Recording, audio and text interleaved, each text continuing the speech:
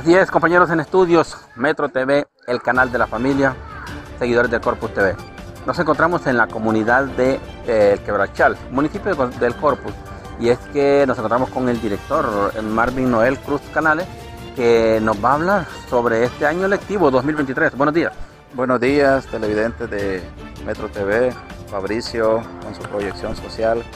En esta ocasión pues estamos eh, laborando en nuestro centro educativo porque hemos estado en una situación bastante difícil en la zona sur por las tormentas tropicales que ha pasado, pero hemos estado llevando el trabajo de manera virtual, llegando a cada uno de los alumnos y hoy pues eh, nos hicimos presentes en el centro educativo, eh, a pesar también ¿verdad? de que hay un comunicado que en zonas donde hay vulnerabilidad eh, no se presenten exponiendo la vida de los compañeros y los alumnos, pero gracias a Dios pues hoy tenemos un sol radiante en nuestra comunidad y estamos aquí impartiendo el pan del saber a cada uno de los niños que son los mayores beneficiados con nuestra enseñanza en este centro educativo. ¿Cómo han, pasado eh, los jóvenes con las clases? ¿En buen ritmo en lo que va del año? Así es, eh, recordemos que aquí es el trabajo de los docentes, padres de familia y el mismo alumno. Todo esfuerzo de, en conjunto de cada uno llevamos eh, lo que es el aprendizaje necesario, adecuado y según las leyes de nuestro país y el currículo nacional básico, apegado a ello, entonces nosotros eh, emanamos todo lo que es, el desarrollo del proceso de enseñanza-aprendizaje. Este centro educativo, la Escuela Francisco Morazán, en la modalidad de primero a sexto grado. Así es, es un centro educativo. Es un centro educativo como Francisco Morazán que atiende de primero a sexto grado.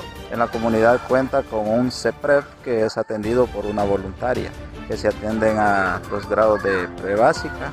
En este caso, como dije anteriormente, es una voluntaria que atiende. No, no recibe un sueldo. Recibe una pequeña bonificación que se le da por parte de la, Secretaría de Educación y la proyección también de, la alcaldía que entiendo que también les ha dado eh, un pago también. Como decimos, es una bonificación por el trabajo que ellas desarrollan también en la comunidad. Eh, nos comentaba esta cámara sobre un concurso que van a, participar en Campeonísimo. Así es, eh, tenemos el día 8 de, noviembre de este año como centro educativo, vamos a, hacer un campeonísimo de, con plan internacional, eh, una capacitación que fuimos a recibir en marzo de este año, el cual fue replicado a cada uno de los alumnos de nuestro centro educativo y el cual el miércoles vamos a participar a nivel de municipio y en Choluteca vamos tres municipios que es el Corpus, Yusguare y Namacigüe. Eh, el campeonísimo se llama Los Seis Sentidos. Es en Choluteca, el lugar no, no se ha especificado, que nos van a comunicar en este día eh, seguramente. ¿Y qué modalidades van a estar atendiendo en materia? No. Pues eh, plan internacional como en su proyección social, eh, es beligerante en el apoyo de lo que es la vulnerabilidad estudiantil, como temas del acoso escolar, más que todo cómo debe actuar para la prevención de este tipo de, flagelos que en la sociedad surgen eventualmente también en, en las comunidades, se desarrolla de manera escasa en, en, nuestra comunidad, pero sabemos que en el país se dan varios casos de lo que es el abuso sexual infantil. En lo que va del año, ¿cómo se portaron también los padres de familia en cuanto a las atenciones del centro?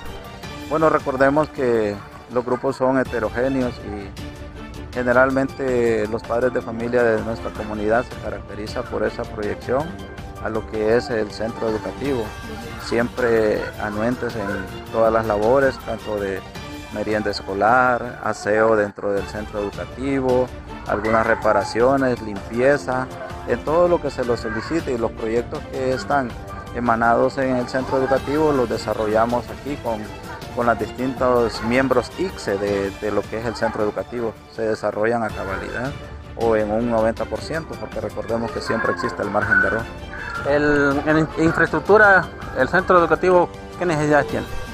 Pues hemos estado teniendo pendiente lo que es en la parte frontal una cancha de uso múltiple, que de repente cuando tenemos algunas actividades dentro del centro educativo eh, no tenemos esa, es un proyecto que estamos desarrollando algunas actividades para poderlo desarrollar a futuro y también poder incluir también ahora lo que es el proyecto del programa de matrícula gratis, que también nos va a venir a ayudar en ese sentido, en, lo que es eh, alguna parte de lo que se necesita, porque es de gran ayuda para lo que es eh, los centros educativos del país. Para finalizar, eh, ¿todavía no cuentan con esa fecha para culminar las clases?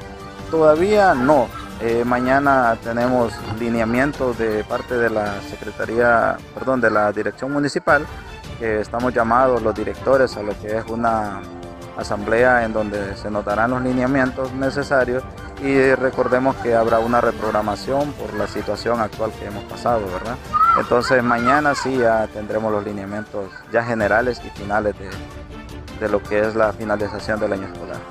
Bueno, este, este rinconcito, lo que es la comunidad de Quebrachal, municipio del Corpus, en la escuela Francisco Morazán, volvemos a los estudios principales. Para Metro TV